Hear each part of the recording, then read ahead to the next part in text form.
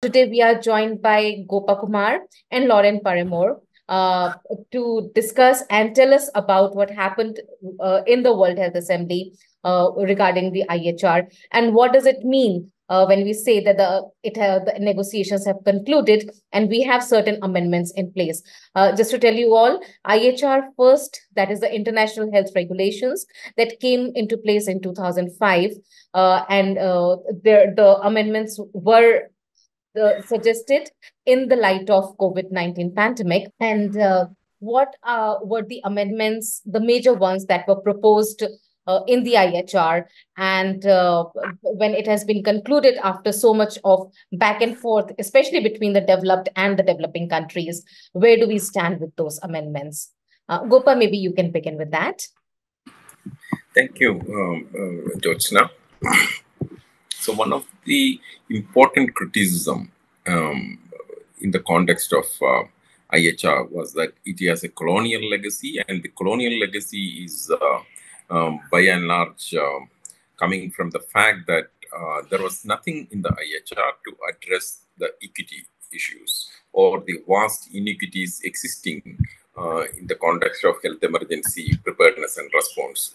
There was nothing uh, concrete, though it recognizes the development divide, but there was uh, nothing concrete um, in the IHR to address these issues, especially the equitable access of health products. So this was the major uh, criticism against uh, uh, IHR, as well as uh, there was no financial mechanism to assist the implementation of IHR. So uh, these amendments um,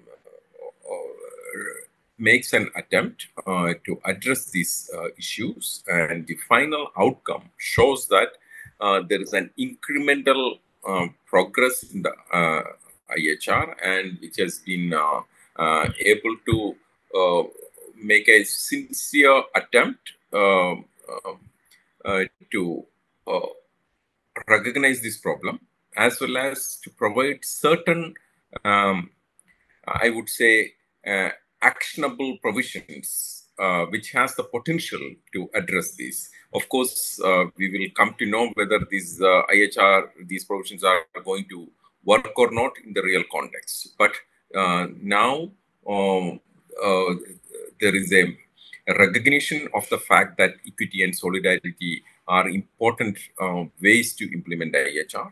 And second, it recognizes the fact that um, there is a need uh, to address equitable access. And third, it imposes an obligation on WHO uh, to address these issues. And it also imposes an obligation on member state. Of course, it is qualified, but to help WHO in achieving the equitable access.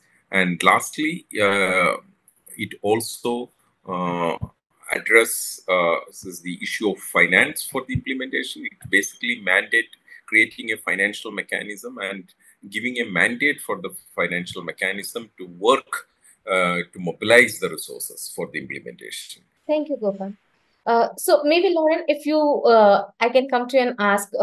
So, are these amendments now that we have certain?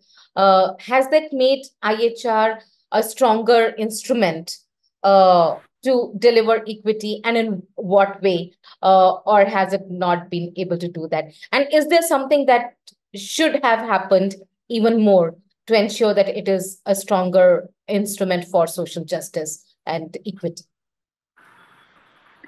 thanks Jyotsna. so i think the i think the ihr is stronger than it was um, as gopa mentioned there's explicit recognition of equity and solidarity. That was the mandate that was given to the working group. And they've tried to deliver on that to some extent. So, for example, um, through creating a financing mechanism that can help strengthen core capacities, for example. So, at least one thing that's happened is that there is a financing mechanism that can help uh, member states to do the basics um, and that new unfunded mandates have not necessarily been created. So that's a, I would say, significant, even if it's modest. Um, the principle of solidarity is explicitly recognized in the text. Uh, I think that's important. um, because in the uh, the pandemic accord negotiations, uh, we've seen that global north countries have made attempts to erase that principle um, from some of the the later versions of the draft text. So I think this idea that countries have uh, common but differentiated obligations with respect to health emergencies is important. Um, and then maybe I would say I think uh, it's an important symbolic victory that some of these equity and solidarity principles have been defended successfully because I think um, many southern states, the Africa bloc in particular, were quite uh, emphatic that equity should be included in the revisions, that it should be actionable, that it should be explicit. So I think what's happened is that in a sense it's been a validation of the multilateral process. And I think that's something symbolically that's important because in many other forums um, that process is being questioned in WHO itself it's been questioned in light of the influence of uh, big business um, and how uh, they risk shaping WHO's agenda. So I think that's important. Good to hear. There, uh, despite uh, what we keep seeing happening in Geneva, where uh, the issues of developing countries get defeated uh, and what civil society stands for, there is some progress. Uh, but you were also talking about uh, the finances and financial mechanism. Now, we know that uh, under the pandemic treaty, the discussion is where the funds will be hosted by the World Bank, where actually the member states do not have a control. but under IHR, what are we seeing and what does uh, that kind of a financial mechanism mean uh, when it comes to emergencies? And I would just like to remind our viewers, it is uh, when we talk about emergencies, it is not only uh, pandemic related emergencies. Emergencies is a much broader term. It means uh, the kind of floods we saw in Pakistan. It means the kind of earthquake we saw in Turkey. It can mean a very, very varied forms of emergencies that uh, happen at certain points in the world and requires immediate health response. Uh, so, so in that sense, yeah, what does the fund mean, and what is this financial mechanism, and how do we see it? So, the uh, Article 44, um, uh, this new article has been uh, inserted in uh, in the IHR, and that particular article establishes a coordinated financial mechanism. It says uh, a coordinated financial mechanism is hereby established too, and then set out its function. So one of the uh, uh, function, there are three functions listed.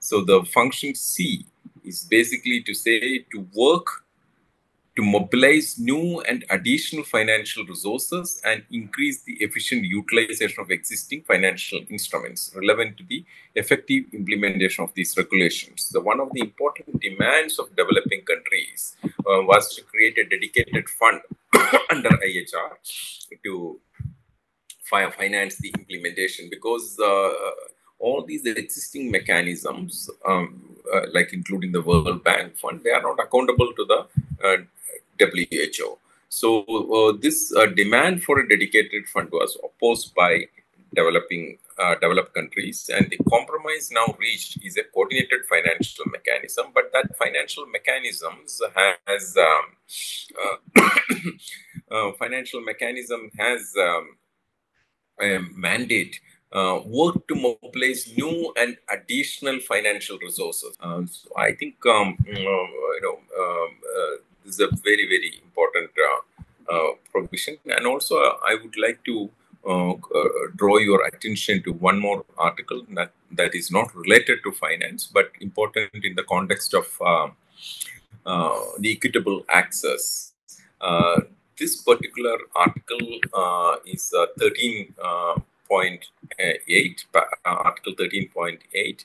Uh, this gives a very um, clear legal obligation or, or legal mandate for WHO to address access to uh, the issue of access to health products. Uh, it, it, it, it reads WHO shall facilitate and work to remove barriers to timely and equitable access by state parties to relevant health products after the determination and during a public health emergency of international concern, including a pandemic emergency.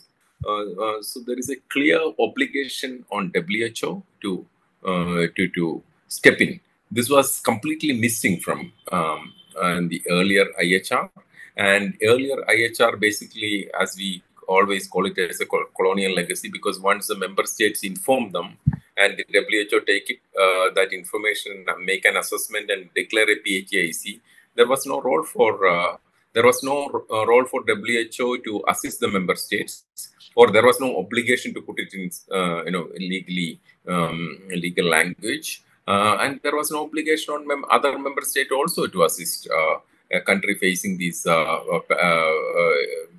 disease outbreaks to be provided with health products or assist uh, that countries contain that uh, outbreak. Absolutely. So it seems like that IHR has, has been able to conclude uh, many of the debates uh, and concerns that still surround the pandemic treaty. And we know that uh, the pandemic treaty negotiations did not conclude this time. Uh, there's one more year to work on it. do you think that these the, the um, these amendments to IHR, some of them uh, are so positive in nature that is going to impact the way pandemic treaty negotiations go in future uh, will it really aid the developing countries to say that now that it is already in black and white we need to adapt it to the pandemic treaty also because ultimately you cannot have two instruments uh, which are contradictory in nature in certain uh, uh, articles uh, so will that aid the countries or uh, not any of you can take this question. Yes. Hey, Lauren, you can start and then I'll come in.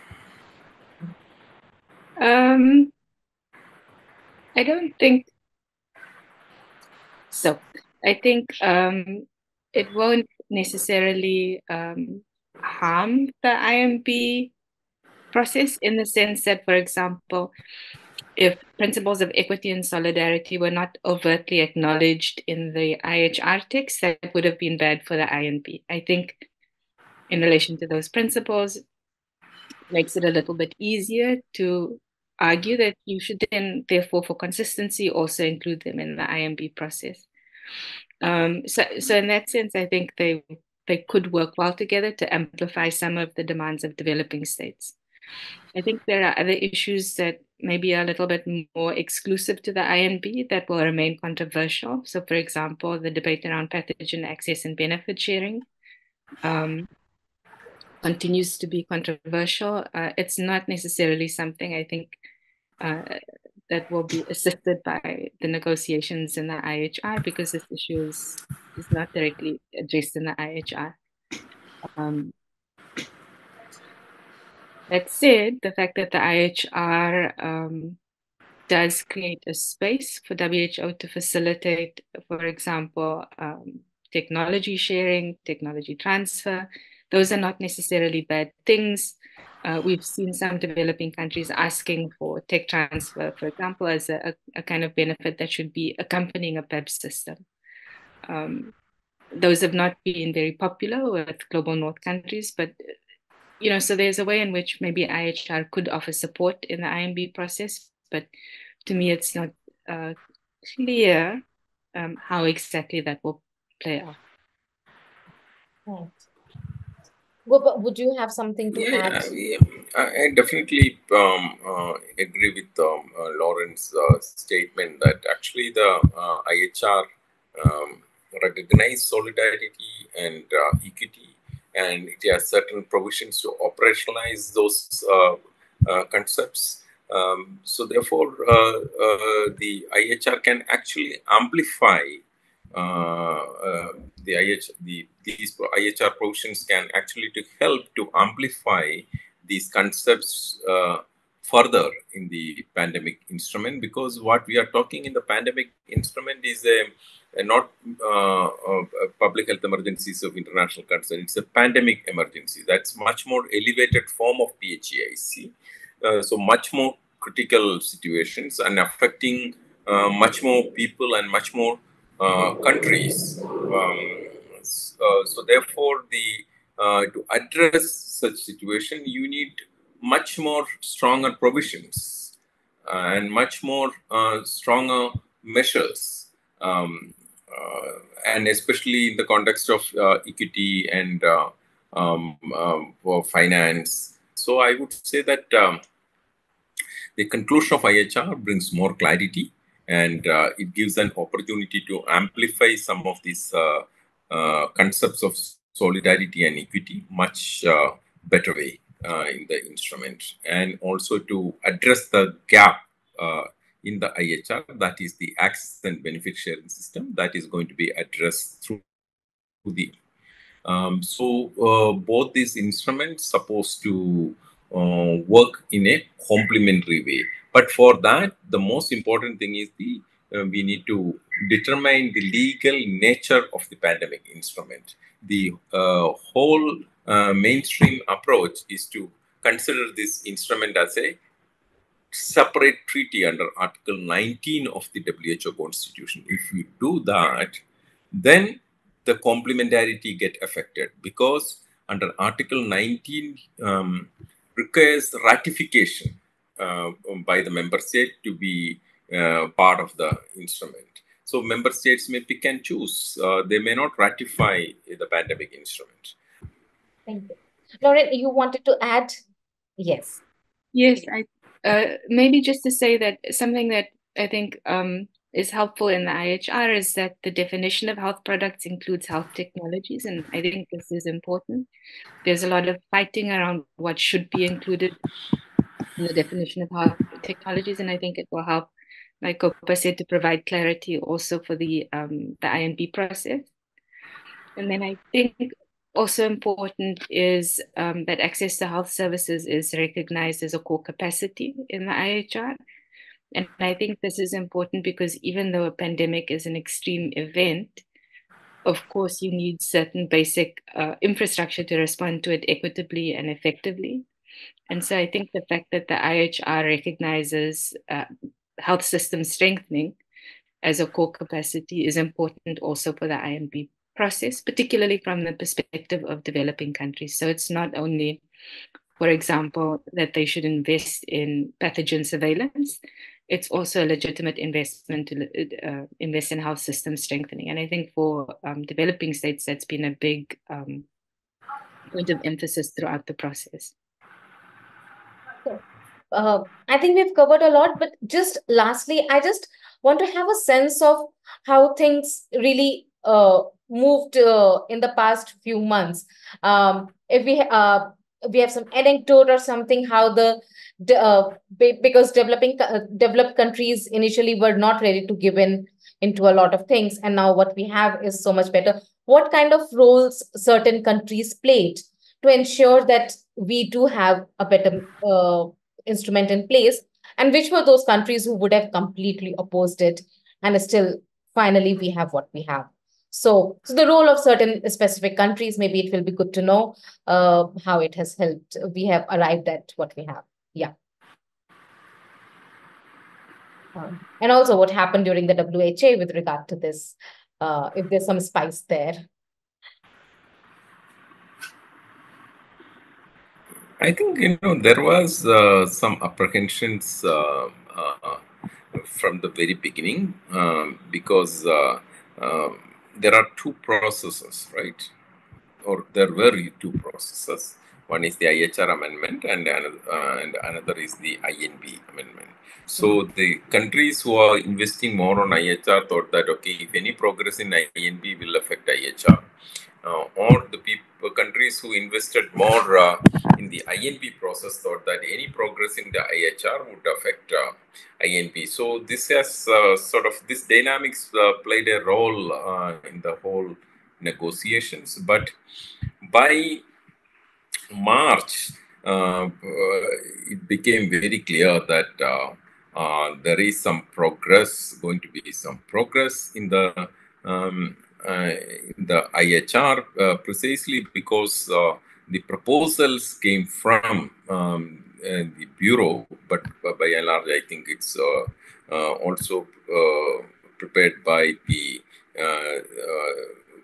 the co-chairs in discussion with the bureau and the secretariat. So let's call it as a bureau's text. Uh, Uh, so the bureau's text um, gave a kind of a confidence in the process. It boosted the confidence in the IHR uh, uh, process because the working group bureau um, refused to circulate a text prepared by the secretariat, which was reinforcing the status quo on equity. And this is in opposition to the INB Bureau's uh, approach. INB Bureau never allowed a kind of a text-based negotiation. They all the time were preparing the text, and which was uh, uh, off the mark of uh, majority of the um, member states. Uh, uh, wanted to see, especially I'm saying majority of the uh, member states means developing country states, especially on equity um, and finance. Uh, uh, so that's that's made the difference, I think. Uh, Lauren, you were there for the World Health Assembly uh, this time. what did you sense from the beginning, and do you think that's what came through when it comes to IHR sense? Yeah, and I agree with Gopa. I think my sense was that the IHR process um, was defined maybe by uh, a bit more trust um, and openness than the INB process. Maybe also it helped, for example, that from the beginning of the process, um, the proposals of member states were publicly accessible, so you could see on the website what was being proposed and so on. Um, you know, when the US first proposed revisions to the IHR, there was a lot of emphasis on increasing access to information and, and kind of being able to go in and get the data that was needed to respond to a public health emergency. I think it also helped that that language kind of got toned down throughout the process. Um, because again, um, these conversations took place in a kind of bigger context. It was also an assembly that was marked by um, extensive discussions around what's happening in Palestine. Um, so I think that presented a kind of crisis for multilateralism. Um, and something I think um, maybe also to consider is that, uh, of course, the DG's term is coming to a close, and also as a, DG, you want to deliver on something um, impressive as part of your legacy. So I think uh, all these maybe contributed to creating a bit more momentum for the IHR. Also, the IHR is already binding, um, and so that too is important because whatever changes come into effect, like Gopa said, um, will for the most part be implemented unless states take out reservations. So Thank you so much. And uh, I think the takeaway would be that, yeah, we have uh, a better and a stronger uh, IHR instrument. Uh, and um, but what brought it through is transparency and the fact that every country could play the role that it should. Um, and we can only hope that in further negotiations, especially with regard to pandemic treaty, uh, we are able to see the same in the uh, coming one year uh, and let's see how that moves. Uh, thank you so much, Gopa. Thank you so much, uh, Lauren. And I would also like to acknowledge that uh, the role that Third World Network and People's Health Movement have played in these all these negotiations and in IHR, it's commendable.